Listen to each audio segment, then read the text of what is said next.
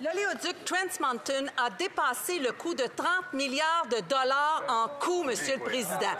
Alors, hier, je demandais au ministre de l'Environnement s'il allait recommander formellement à son gouvernement de sortir de ce gouffre.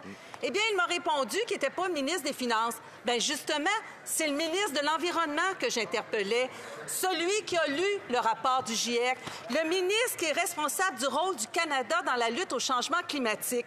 Est-ce qu'il recommande formellement aujourd'hui à son gouvernement d'enfin mettre un terme au fiasco Trans Mountain?